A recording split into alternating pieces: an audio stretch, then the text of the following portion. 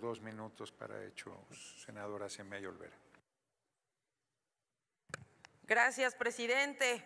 Para precisar el retiro de la reserva, porque parte de la experiencia que nos ha dejado la Policía de Caminos, la PFP, la AFI y tantas otras cosas es que se precisa diseñar, dirigir e implementar una estrategia contundente, complementaria y continua, como lo está haciendo nuestro compañero García Harfush, a quien pido un fuerte aplauso porque es un hombre probado en los temas más profundos de seguridad y tiene toda nuestra confianza. Además que el modelo emula esquemas exitosos como el, el de las gendarmerías de Europa.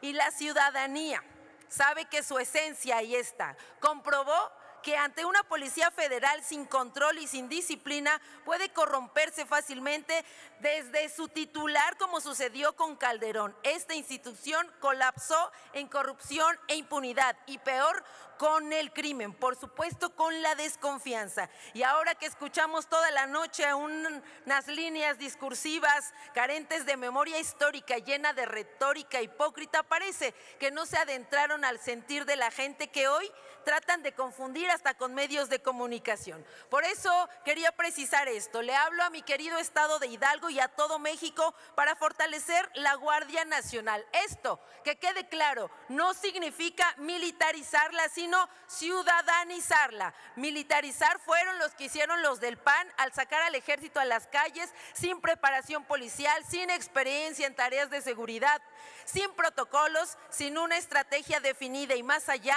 del uso de la fuerza, ignorando los costos de vida y solo llamándolos daños colaterales. Ahora es diferente. Hoy en lugares alejados se está reflejando lo que más queremos, nos están cuidando y es urgente que sigan de cerca. Por eso, a seis años, el mejor presidente ahora ha refrendado que somos referencia mundial en la recuperación de nuestra nación. y estamos del lado correcto de la historia. Con esto queríamos terminar, compañeros. Vamos avanzando pese a todas las mentiras de oposición en una semana. Vamos a contar con la primera comandanta suprema de las Fuerzas Armadas, Claudia Sheinbaum, y construiremos el segundo piso de la cuarta transformación. ¡Viva el grupo parlamentario de Morena! ¡Viva la coalición! Juntos hacemos historia. Es cuanto, presidente. Muchas